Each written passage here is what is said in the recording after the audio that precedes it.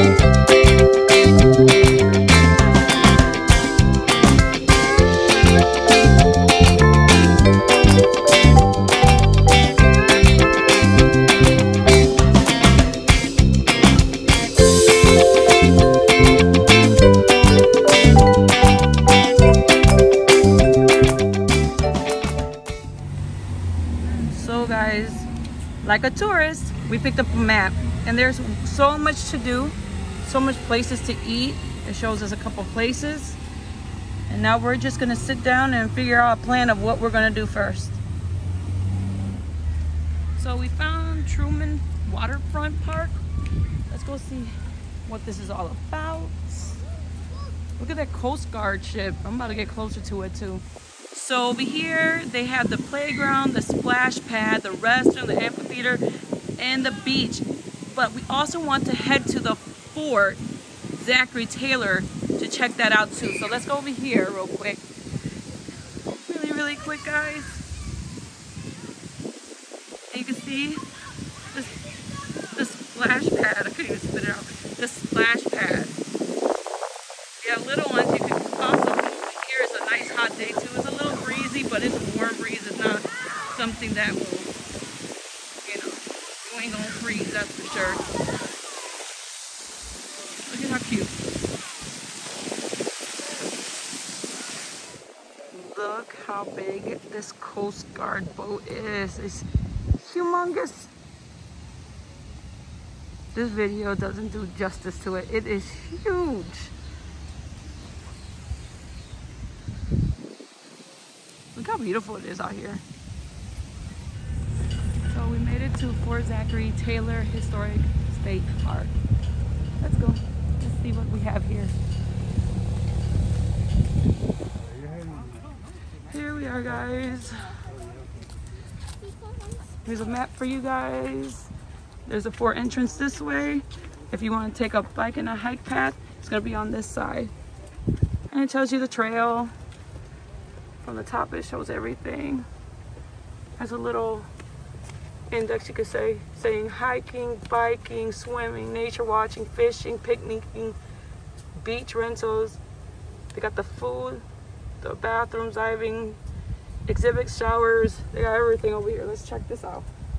Let's go this way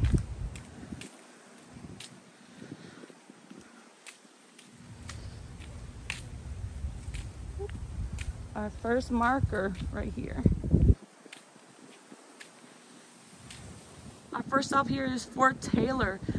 Over here it tells you everything that has happened when it was built. It was built in 1844 and it was to help protect the sea of attack upon the United States. It was a home for 450 soldiers here. That's crazy. Let's find out some more stuff.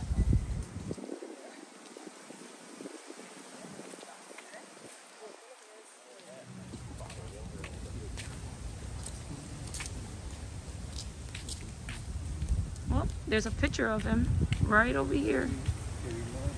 Zachary Taylor.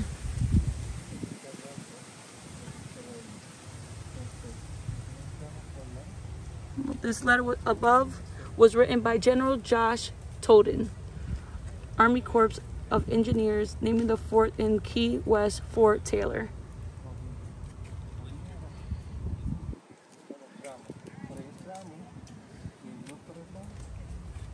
Stop is the blacksmith shop. We're gonna go up here and check it out.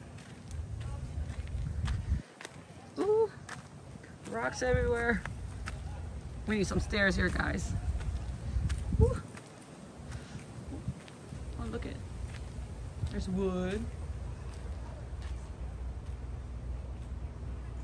Look at that iron and the oven in the back. Oh, these things are extra old.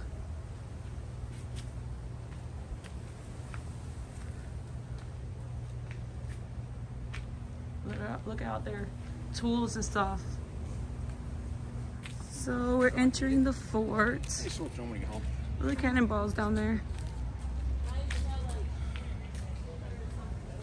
Look how old this thing looks.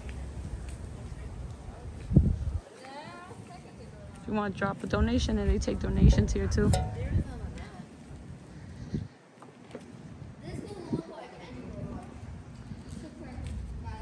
Got a map for you. Y'all almost seen that. Y'all see me shake? It's because I almost fell. Huh. It has Fort Taylor through the ages of 1861 to 1947. Then it has like a color key that says Civil War, you know, World War One, World War Two, stairs to the second tier. It tells you where to go. It tells you where you're at. And it gives you a little info, a quick fact, if you want to sit and, and read it.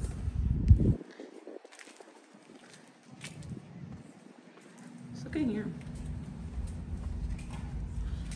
Looks like a little cannon. See the other one. I see. I know I've seen another one over here. Oh, empty room. Nothing there to see. Let's keep going. You want to go upstairs? Go. Let's see what's upstairs, guys. Historic ruins, uneven surfaces. Caution.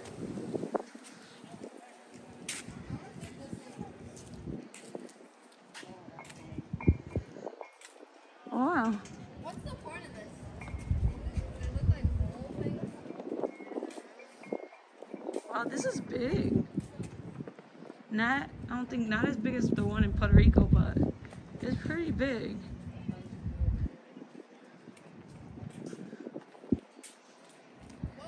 What's in here? Hmm. That's like something to carry. Yeah, it's like a little cart or something. Let's go over here, keep checking out what they have.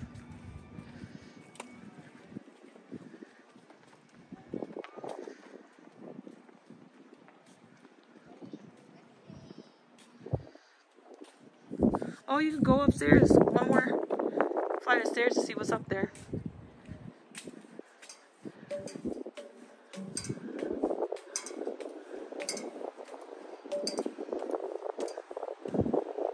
Huh. What a pretty view. Oh, no, this is pretty view. Look at this. Right here. Let's see what this posting has to say. Hidden treasures.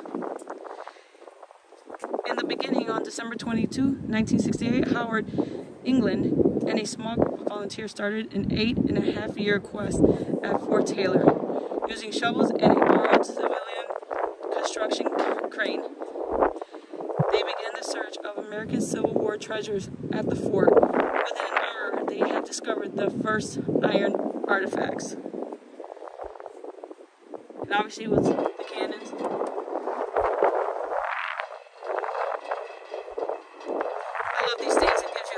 facts in like in a short amount of time to read.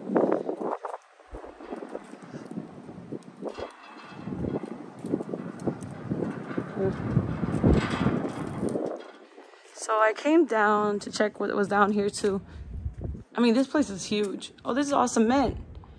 Different kinds of cements and blocks and bricks. Let's go to the next room.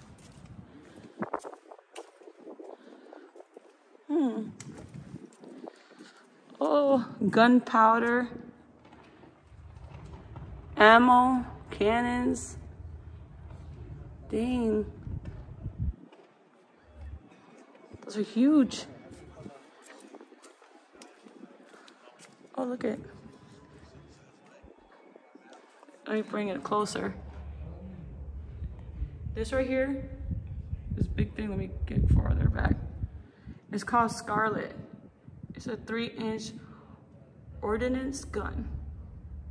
Wow. She big.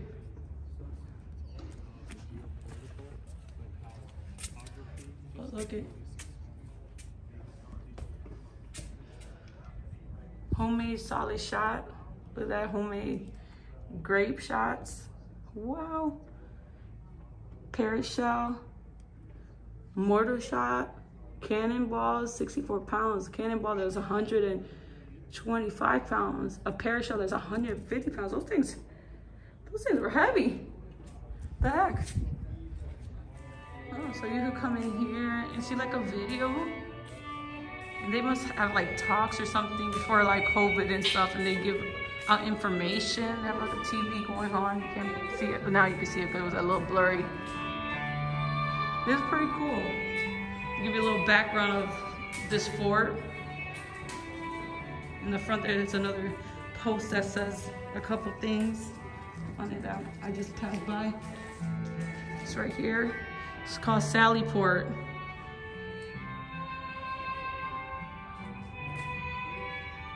They have all sorts of fun facts about it.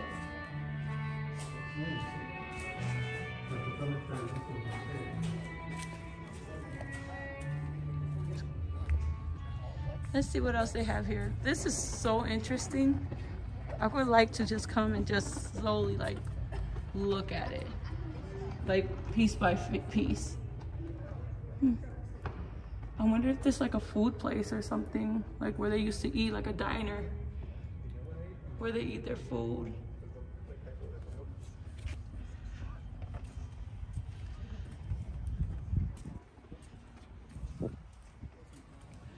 Oh, it is, because look, I found it. It says feeding the soldiers. That's the mess hall. Yeah, the mess hall. I knew it was something like that. Now the kitchen and mess hall. Yeah, kitchen, mess hall. That's the, that's the wine. And there goes the wine. Yeah. Just kidding, I don't know what it is, but it looks like it. so after you come from the fort, which is behind here, you go right to the beach. Soak your feet, take a walk, take a swim. Oh, that water's freezing. Oh, get some gels. Oh my gosh. Freezing. Water is freezing. So we decided to eat here at the Mesón de Pepe restaurant. And it is a Cuban island cuisine restaurant. And underneath the front here, at the bottom, it has like a little fact board. And it says, highlights in the history of the United States, Cuba, Key West, and Havana.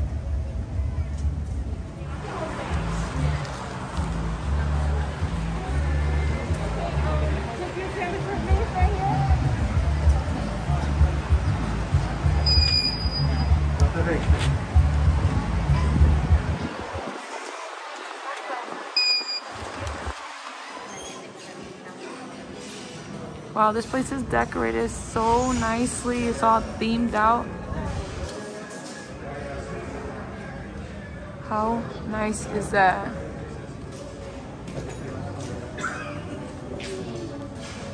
They got rum running.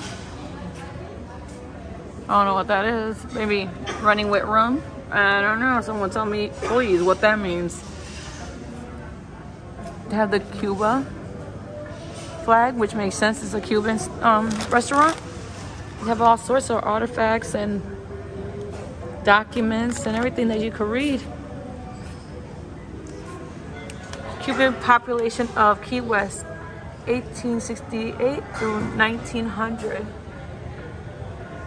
It says approximately 9,800 Cubans in Key West in 1878. Dang, they got some nice stuff over here. Oh my god. Oh, look at the tables. I didn't even notice the tables. They're nice. Let's go over here real quick.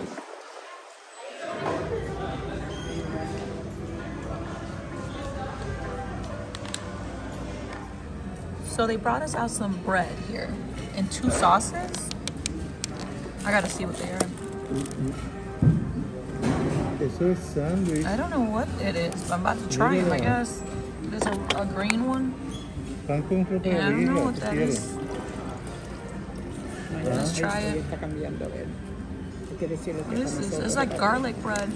¿Cuánto vamos a aquí, There we go. Let's try the green one first. Mm.